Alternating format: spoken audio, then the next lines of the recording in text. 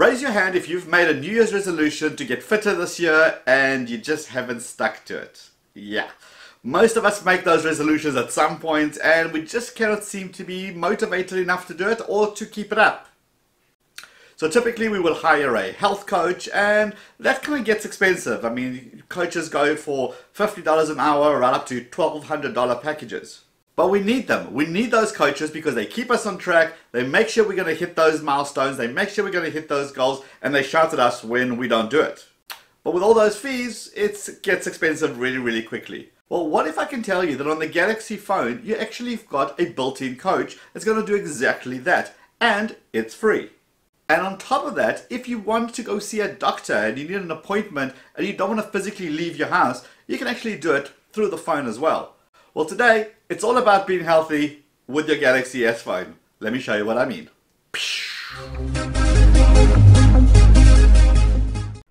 Okay, let's get started. So go and look for the Samsung folder and look for an app called the Samsung Health. Once you've given it permission, you accepted the terms and conditions, the first thing you're going to do is create a profile for yourself. Hit the little guy at the top and you're going to go through a little setup process.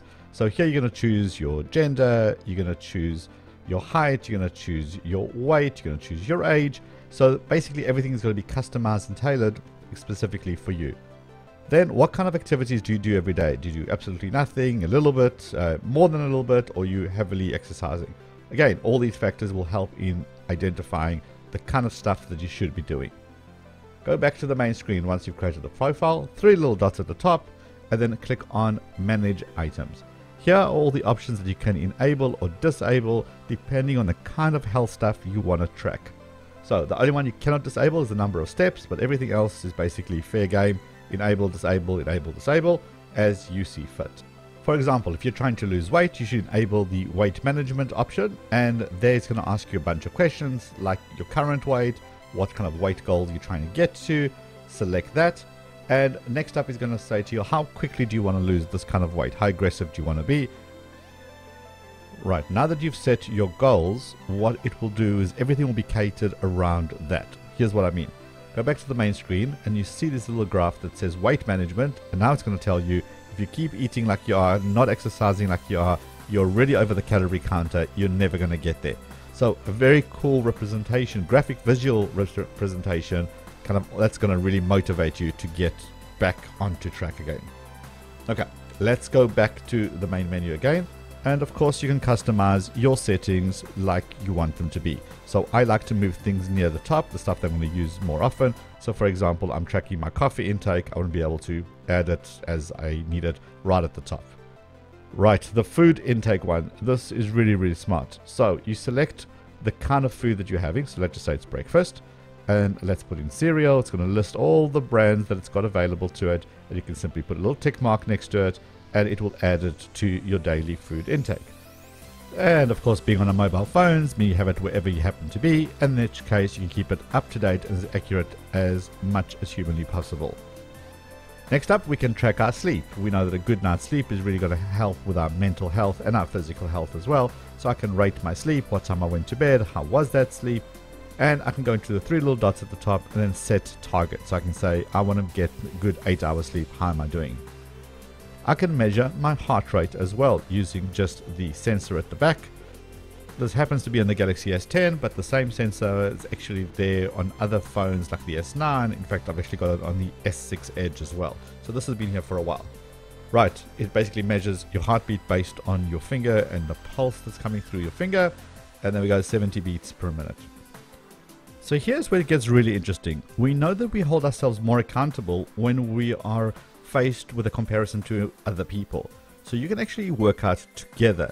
You can see how you're doing compared to the larger group size, and they do take your age and all those details into account. So it's you versus kind of everybody else.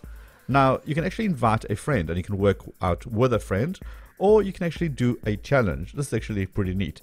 Select challenges then you can select a friend and you can kind of do a challenge like who's going to get the most number of steps, what's the target for the day, and you can set all that. And you can start your challenge. It's one versus one. Another really cool use of gamification is that you can accept a, this one happens to be the Desert April Challenge. And the more you walk, the more healthier you are, the more exercise you do, you know, the more stars you're going to be collecting, and then you move along inside the game. Next up, hit the button that says Experts. Now, under Experts, you've got two options symptom checker or a doctor's visit. Let's start with a symptom checker. Once you accept the terms and condition, essentially it's a bot. It's going to ask you a bunch of questions, and based on your responses, it's going to give you certain information. So let's try it. What kind of male or female? So let's start there. And then what is the next question? Right, what symptom do you have? So I'm going to click on the button. And now I'm going to put in something, I don't know, headache. Let's do that.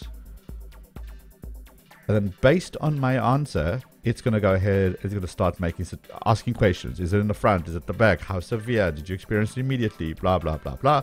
And based on that, it's going to give me some sort of recommendation. Okay, let's get out of that. Right, if you want to see a real live doctor and actually get real consultation, it actually does that as well. It has the option to speak to a real expert, um, and this is like the whole telemedicine thing coming to life. So you'll be able to be connected with someone who's going to really help you, like going to make an appointment and physically going to see a doctor. No reason why you can't do it through the phone as well.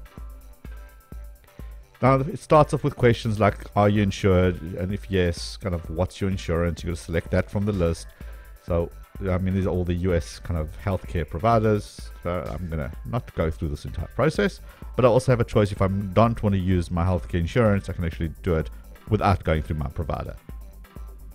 Okay, let's get out of this because uh, for make an appointment I don't need to make. Final option is explore, and essentially this has got a whole bunch of stuff besides articles and videos. It's actually got specific programs that you can do. You can actually enable them. For example, relaxation, meditation. Now, I will say some of them are free usage for a certain period and then you got to pay for it. Um, some of them are just basically free altogether. Just go through the list and see the one that you want to help with, that you want that you need help with, and select it. The Go to Sleep music is pretty cool. Just basically find a cool sound and push play. And then you've also got this little timer that says after a certain number of minutes, obviously switch everything off. So a nice bedtime. In fact, it even has bedtime stories as well. So this app has been around for a while. It's just been updated. It used to be called the S Health app.